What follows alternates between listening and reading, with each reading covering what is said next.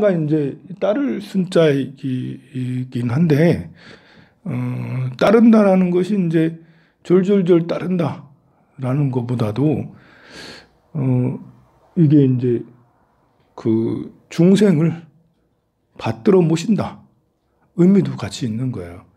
이게 이제 같을 동자 동 함께 한다 항동 중생 항상 중생과 함께 한다. 내가 내 몸 중요하고 내 마음 중요한 거 아는 것처럼 중생의 몸도 중생의 중생의 몸과 마음도 중요한 것을 아는 거. 함께 하는 거예요 함께. 그래서 이제 조금 더 해서 받들어 모신다. 항존. 항존 중생. 중생을 받들어 모신다. 중생을 존중한다. 이겠죠? 그래서 그냥 이제 뭐따 그냥 따라다닌다 라고 생각하면 틀렸고 함께하거나 존중하는 항존 중생 또는 항동 중생이라고 생각을 하면 돼요. 그래서 여기 있는 이제 수순한다는 것은 진법계 허곡계 시방세계의 중생들이 여러 가지 차별이 있어. 차별. 중생들이 차별이 있어요. 중생의 모양이 다 각각, 각각 차별이 있어. 아래서 나고 태에서 습기로 또 화여 태란습하죠. 이렇게 여러 가지 종류로 나요. 여러분들께서는 이제 경전 독송할 때 금강경도 그렇고 태란스파, 뭐 약유생, 약무생, 약비우상, 비무상 이런 이야기가 막 나올 때 뭐 생각이 있거나 생각이 있거나 뭐 모습이 있거나 모양이 있거나 다리가 있거나 다리가 없거나 뭐 이런 거 할 때 뭐 이렇게까지 세세하게 분류를 하지? 어, 그냥 넘어가기가 쉬운데 경전마다 이렇게 여기서도 습기로 나고 화학에 나기도 하고 지수화풍에 의지하여 살기도 하고 허공에 의해서 살기도 하고 풀과 나무를 의지하여 살기도 하고 그런데 가지가지 종류와 가지가지 몸, 또 형상, 모양, 수명, 종족, 이름, 심성, 지견, 욕망, 행동, 위의, 의복, 음식을 가지고 여러 마을이나 성읍이나 궁전에 살기도 하고 하늘이나 용야차, 팔부와 사람이 아닌 듯한 것들 발 없는 거 두 발 가진 거 말 없는 뭐 이런 거 있잖아요. 이렇게 쭉 지금 한 페이지 한 장 두 페이지 동안 계속 서로 차별이 있는 것들을 얘기하는 거예요. 아, 요것을 그냥 이제 이렇게 아, 그냥 모든 중생 중생이라고 하면 끝나지 왜 이렇게 여러 가지로 아, 이것저것 다 이제 다 거두냐라는 것은 그만큼 부처님께서는 한 중생 중생이라도 놓치지 않겠다. 중생, 중생 하나하나 다 챙기는 거죠. 남자도 챙기고, 여자도 챙기고, 경상도, 전라도, 충청도, 제주도 하나하나 도, 팔도 중생, 이렇게 팔도 대한민국, 이렇게 할 수도 있지만, 경기도, 뭐, 경상도, 서울, 과주, 부산, 대구, 뭐, 이렇게 하나하나 이름을 다 나열한다는 것은 낱낱이 그것을 중요하게 여긴다는 거죠. 이제 황산심의 몸뚱아리, 이래도 되지만 나의 눈, 나의 귀, 나의 코, 나의 입, 나의 혀, 나의 신체, 나의 오장육부, 나의 다리, 팔 다 이렇게 얘기하는 것은 그냥 아, 내 몸 이렇게 얘기하는 거하고 내 눈, 내 머리, 내 목, 내 허리, 내 다리, 내 오장육부, 귀, 코 이렇게 하면 느낌이 다르지 않아? 똑같은 거야? 그냥 내 몸뚱아리 이렇게 하는 거하고 내 눈, 귀, 코, 입 이게 느낌이 다르다고요. 그 나에 대한 애착이 훨씬 더 강해져. 아, 내 몸 하는 거하고 내 눈, 내 귀, 내 코, 입, 혀, 뭐 목, 팔, 다리, 어깨, 허리, 뭐 등, 뭐 이런 것까지 다 하면 거기에 어 이제 마음이 더 쓰여지고 그내 몸에 대한 이런 것이 훨씬 더 강해지죠. 어, 우리가 이제 경전을 독송하는데 이제 숫자가 목표가 아니에요. 물론 경전 수행을 하다 보면 하루에 한 독씩 꼭 해야지. 뭐 천 독을 꼭 해야지. 십만 독을 꼭 해야지. 이런 숫자의 목표도 있지만 에, 이런 경전 음, 독송을 통해서 무지에서 무지에서 지혜로 지혜로 무지에서 자비로 지혜와 자비를 성취하는 길이에요. 근데 이 지혜라는 것은 자비를 바탕으로 또 이제 이 지혜가 성장하는 거거든요. 자비심이라는 것은 생명 존중이잖아. 한 생명 한 생명이라도 놓치지 않고 한 생명 한 생명이라도 귀중히 여기고 받들어 모시고 그렇게 할 때 지혜가 나오는 거죠. 거기 우리 불교에서의 지혜는 자비가 바탕이 돼서 여기서도 나오죠. 이게 어, 비유하건데 714페이지 볼까요? 넓은 벌판 머리밭 가운데 한 큰 나무가 있어. 그 뿌리가 물을 만나면 잎이나 꽃이나 과실이 모두 무성해지는 것과 같다고 그랬어요. 그래서 이 대비의 물로 중생을 이익하게 하면 그래서 이제 그 곧 안욕따라 삼맥삼보리 깨달음 지혜를 성취한다고 그렇게 나오잖아요. 그, 그 뿌리가 물을 만나면 물을 만나서 꽃과 과실이 무성해진다. 이게 물이라는 것이 자비라는 거죠. 자비. 자비심으로 지혜를 대보리를 안욕따라 삼맥삼보리를 이룬다는 것이죠. 자비가 물이 되어서 물을 쭉 빨아먹으면 풀과 나무가 뭉성 푸성 뭐야 에, 어, 풍성해지는 것처럼 이 자비의 물로 이렇게 이렇게 하면 안육따라 삼맥삼보리를 얻는다라는 그런 것입니다. 그래서 이게 자비로워지려면 황룡사 신도들 안녕하세요 이렇게 하는 것도 되지만 보살님, 거사님, 보살님, 보살님, 보살님, 보살님, 보살님 하나하나를 다 생각하고 하나하나 뭐 여러분들마다 각자의 고뇌, 각자의 고민, 또 어떤 슬픔, 뭐 원하는 거, 또 사연 이런 것들을 하나하나 살필 때 그러면 자비심이 더욱더 커지고 건져주고 싶은 마음이 더욱더 큰 거죠. 그래서 지옥에 있는 지장보살님이 가장 자, 자, 가장 자비롭다고 하는 거예요. 왜냐하면 지옥에 낱낱이 가면 낱낱의 사연들을 다 접하잖아요. 그럼 더 애절해지는 거지.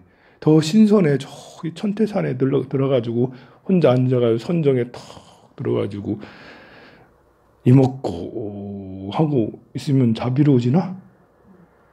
그것도 자비로워져요. 내가 중생을 위해서 선정해 드려야지.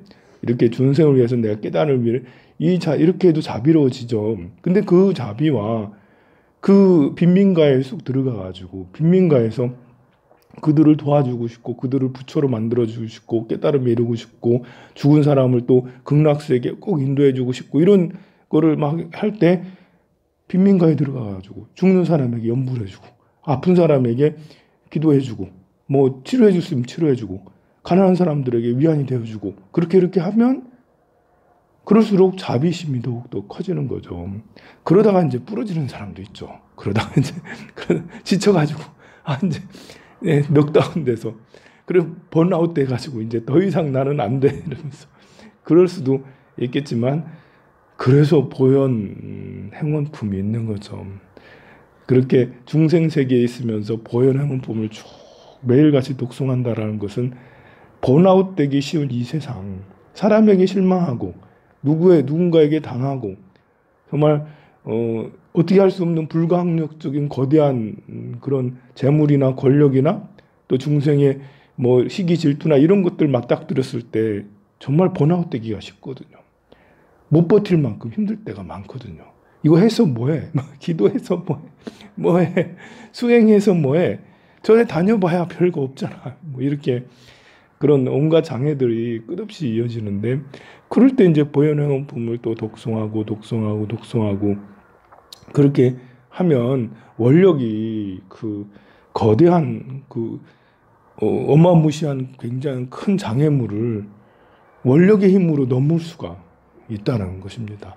그래서 이런 중생들 하나하나를 다 이제 그 열거하고 그들을 또 설명하고 말하고 그렇게 하시는 거죠. 그래서 빛깔 있는 것, 빛깔 없는 것, 생각 있는 것, 생각 없는 것, 생각 있는 것도 아니고 생각 없는 것도 아닌 이러한 여러 가지 중생들의 뜻에 다 수순하여 이런 많이 차별이 있는 많은 어 뭐 빛깔 있고 빛깔 없고 생각 있고 생각 있고 다리가 있고 없고 뭐 지수 화풍으로 나고 업적 이런 것들 뭐 성읍이나 뭐 마을이나 종종 뭐 종 어느 종족이나 행동 위 의복 음식 뭐 이런 것들까지 다 해서 차별이 있는 이런 중생들의 뜻에 다 수순해.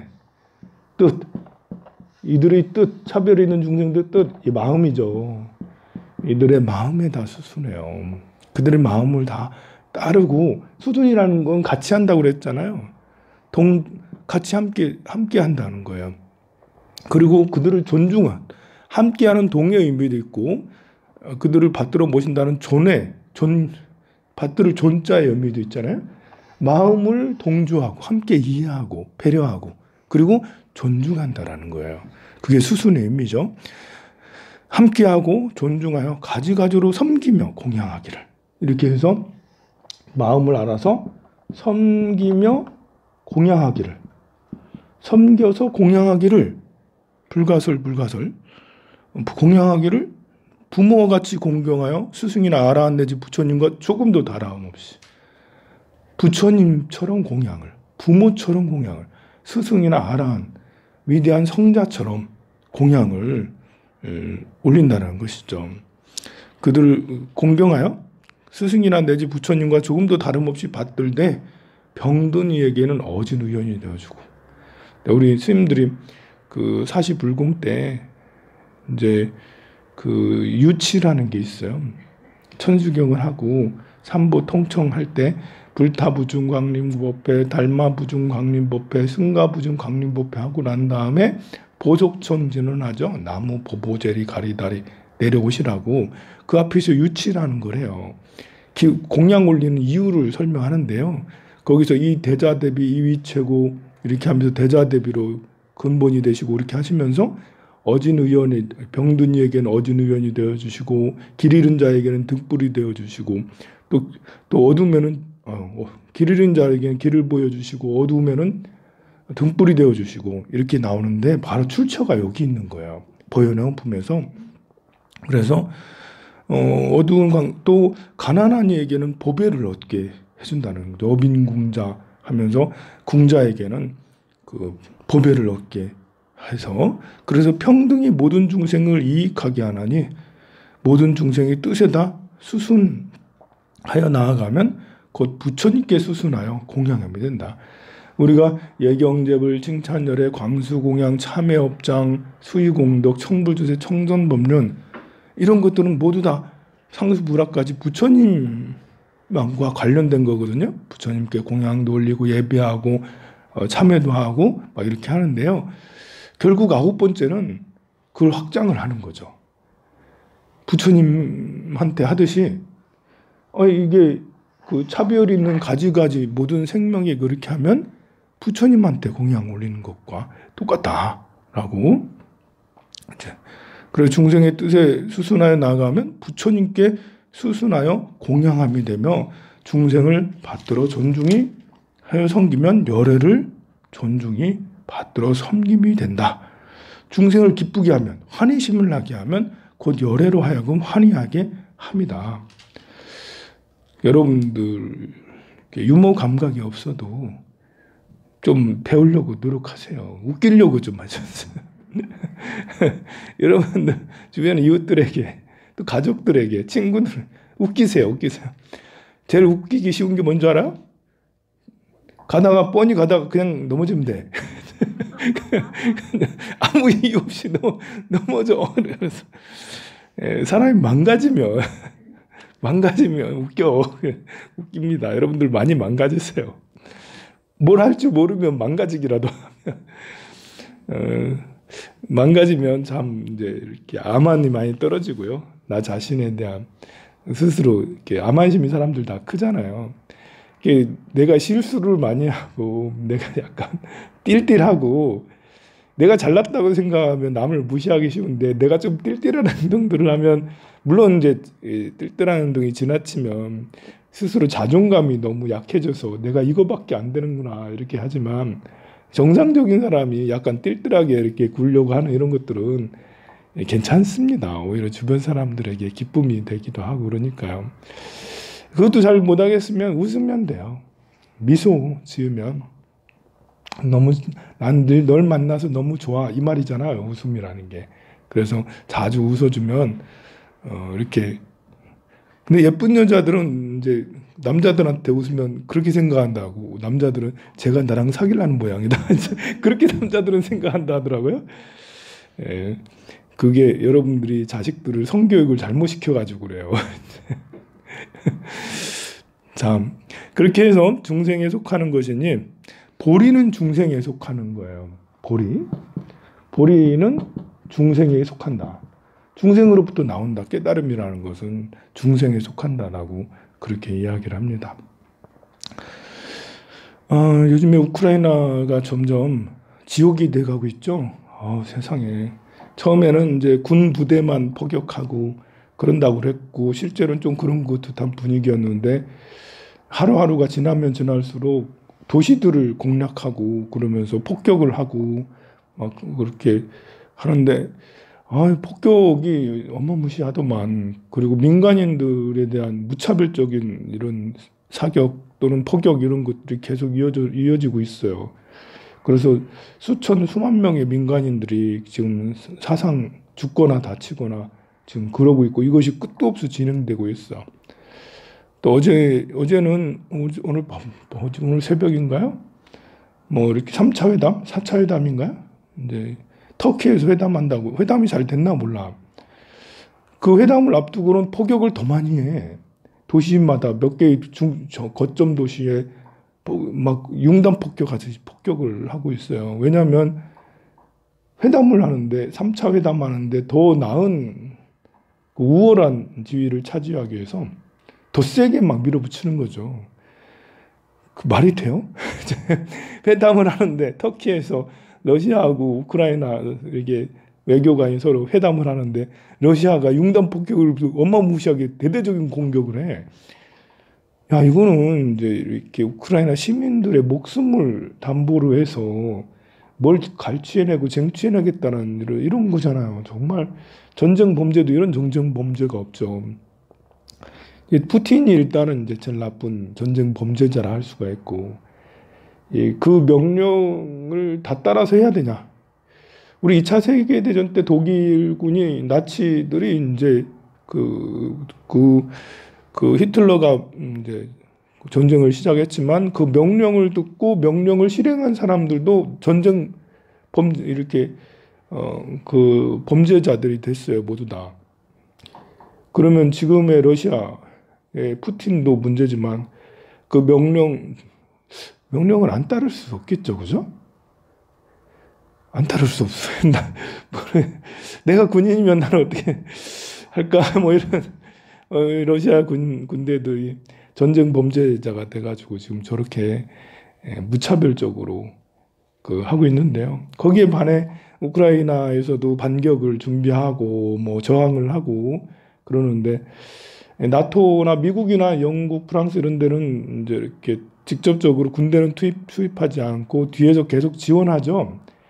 무기 지원하고 재정 지원하고 그리고 이제 그 난민들을 받아주고 그러는데 뭐 좋은 뜻에서 뭐 17조 원을 지원해 준다 얼마를 또 지원해 준다 제블린을 몇 개를 해 주고 미사일을 몇 개를 해 주고 항공기를 몇 대를 해 준다 이렇게 어, 대단히 많은 지원들이 들어가는데 좋게 말하면 국제사회에서 지원을 해주는 거고 나쁘게 말하면 대리전이잖아요 대리전 직접적으로 들어가서 참전하는 게 아니라 뒤에서 물자를 대주면서 니들이 알아서 해 니들이 니들이 알아서 하는데 아, 참 그렇습니다. 그래서 그런지 또 이렇게 전 세계에 있는 많은 의용군이라고 해야 되나?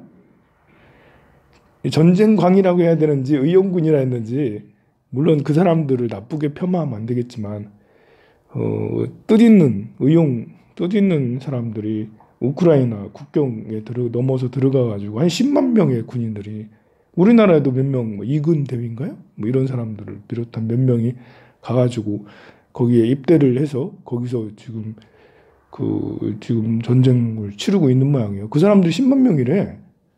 어휴, 굉장히 세계에 많은 사람들이 공식적으로 나라에서 지원한 게 아니라 개인 자격으로 가가지고 하겠다라는 거죠. 이제 하고 있어요 지금.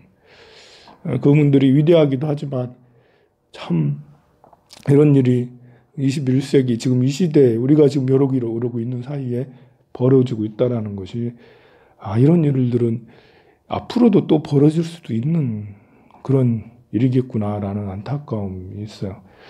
우크라이나 사람들, 뭐 그 사람들만 정말 뭐 다른 피해 있는 사람도 많죠. 러시아도 곧 있으면 디폴트 모라토리엄 선언할지 모른다고 거- 경제가 지금 계속해서 망하고 있으니까 루브라가 10분의 1로 이제 폭락하고 원화가 시- 원화가 가치가 지금 1,200원인데 12,000원 돼봐 어떻게 되겠어요? 여러분들 원화가 12,000원이면 어떻게 하겠어요? 그리고 금리가 20%래. 금리가 이- 지금 점점 더 오르겠지? 어, 뭐 이렇게 저 이미 대출 받은 사람은 이제 더 이렇게 20%를 적용하는 건 아니고 신규 대출하는 사람들은 이제 한 25% 30% 이렇게 하겠죠. 그러면 전혀 대출을 받을 수가 없겠죠. 어쨌든 이, 그 거기에 러시아 국민들도 지금 큰 위험에 빠졌고 전 세계는 지금 앞으로 러시아산 원유를 서- 천연가스를 쓰지 않겠다라고 그렇게 잠정적으로 합의를 해가고 있는 것 같고 어, 덕분에 우리 조선 소 우리 이제 울산이나 이제 저 거제나 이 조선소들은 호황을 맞게 생겼어요. LNG 이런 것들을 운반을 하고 하는 그런 배들을 우리가 다 만드니까 개, 뭐 계속 수주가 밀려들고 막 그러고 있어요. 어, 뭐 이렇게 그런 분야 분야 그런 분야는 수혜인데 꼭 좋아할 만한 수혜는 또 아니죠. 어, 러시아 사람들도 지금 많은 국민들이 힘들어하고 지금 전쟁이 이렇게 끝난다 해도 러시아는 당분간 제재를 받게 될 거예요. 그런 러시아 사람들은 정말 힘들고 그래 되고 우크라이나도 지금 전쟁 끝난다 해도 전후 복구가 복구 비용이나 뭐 이런 이제 그 이후에 이후에 다시 재건하는 그런 그냥 이제 지금 한 10년 정도 후퇴했다고 보면 돼. 우크라이나 사람들은 어떻게 하겠어요? 하루 빨리 빨리 끝나 끝나야지 그것도 이제 빨리 전후 복구도 하고 하는데 얼마나 더 갈지는 잘 모르겠습니다. 우크라이나 사람들도 저항을 하는데요. 뭐 저항하는 건 당연하고 그렇게 해야 되는 건 맞는데 이 우- 러시아 사람들이 너무 그 푸틴이 너무 그런다라는 게 정말 가슴이 아픕니다. 이런 전쟁이 빨리 없어지고 다시는 일어나지 않게 되면 좋겠어요. 열심히 기도합시다. 선물하세요.